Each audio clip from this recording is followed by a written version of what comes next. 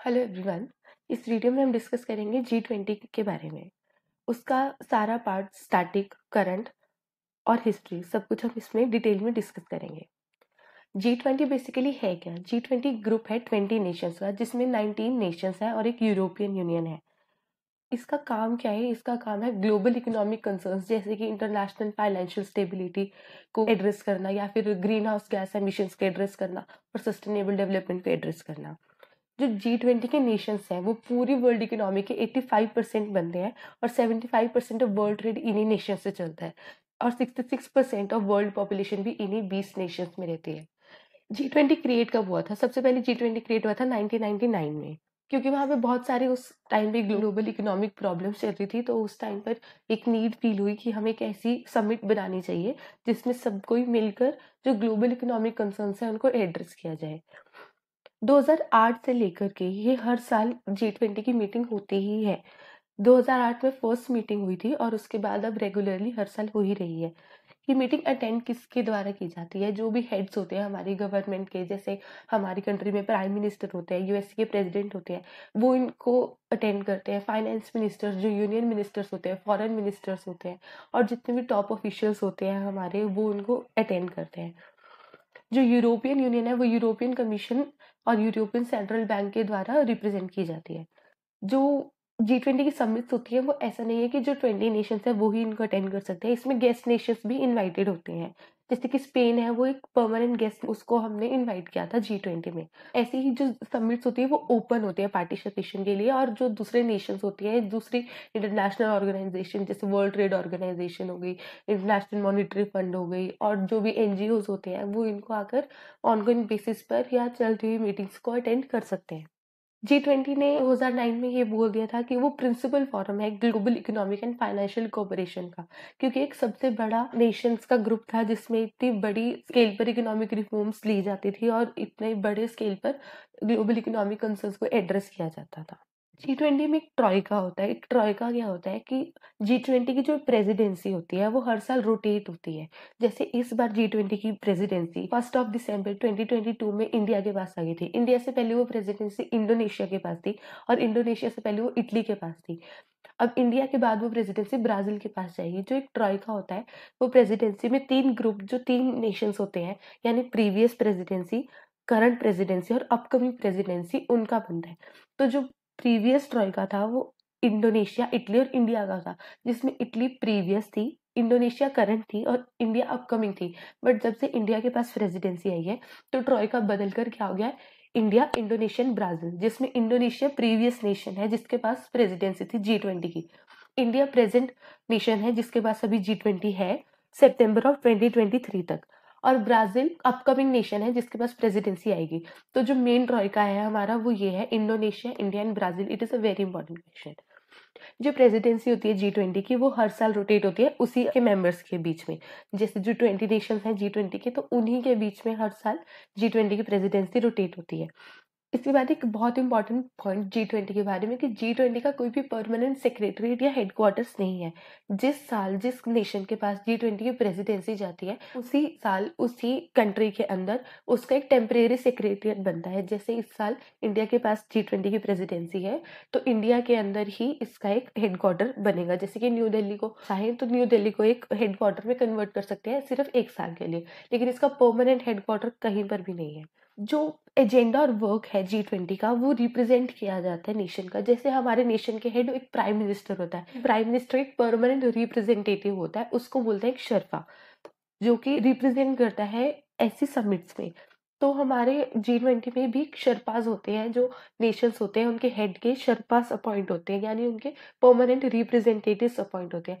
तो हमारे इंडिया के जी ट्वेंटी के शर्पा कौन है? श्री अमिताभ कांत है। It is a very important question next जैसे कि हमें पता है कि 2008 से रेगुलरली जी ट्वेंटी की समिट्स हो रही हैं हर साल। तो इस बार जो नंबर है वो एटीन टाइम 2023 में समिट हो रही है न्यू दिल्ली में, प्रगति मैदान में इंडिया में। क्योंकि इस बार जो हॉस्ट है वो इंडिया है 2023 का। इंडिया ने अपनी प्रेसिडेंसी कब ली थी? इंडिया ने अपनी प्रेसिडेंसी ली थी फ़र्स्ट ऑफ़ दिसंबर 2022 में। और थर्ड क्वार्टर ऑफ़ 2023 यानी सितंबर ऑफ़ 2023 तक इंडिया इसको प्रेसिडेंसी को कैरी ऑन करेगा।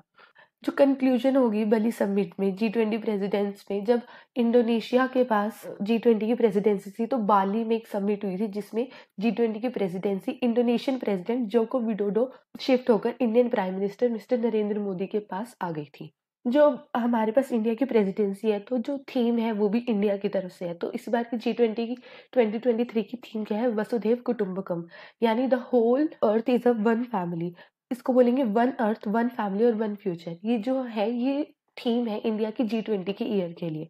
ये एक संस्कृत स्क्रिप्चर और पे बेस्ड है और ये क्या, किस चीज़ पे एम्फोसिस करती है? Interconnectedness of various forms of life यानी कि जितनी भी है कि लाइफ्स है अर्थ पे, चाहे वो ह्यूमंस हो एनिमल्स हो प्लांट्स हो या माइक्रो ऑर्गेनिजम्स हो, उनकी जो सिग्निफिकेंस है अर्थ पर भी और लार्जर कॉस्मोस में भी, पूरे यूनिवर्स में भी, उसको ये एम्फोसाइज करती है। The themes make use of the phrase life style for environment that is LiFE इसमें लाइफ की जो फुल फॉर्म है लाइफ स्टाइल फॉर एनवायरमेंट ये इंपॉर्टेंट बन जाती है। ये इस फ्रेज को दर्शाती है और ये बताती है कि कैसे इन्वायरमेंट जो है, वो अगर उसके लिए हम लोकल स्टेट या फेडरल लेवल्स पर भी डिसीज़न ले तो वो एक बहुत बड़े रिज़ल्ट में चेंज हो सकता है कि छोटे छोटे लेवल पर हम अगर डिसीज़न ले इन्वायरमेंट को लेकर तो वो एक इंटरनेशनल लेवल तक जा सकता है और उससे हम एक क्लीनर ग्रीनर और ब्लूअर फ्यूचर और ब्लूअर अर्थ हम अपनी बना सकते हैं। Who will organise the G twenty summit twenty twenty three in India so the ministry of external affairs that there will be two fifty meetings health throughout the nation अभी भी आप लोग news सुन रहे होंगे कि आज चंडीगढ़ में मीटिंग हुई, आज चेन्नई में, आज गुरुग्राम में, आज रन ऑफ़ कच्छ में।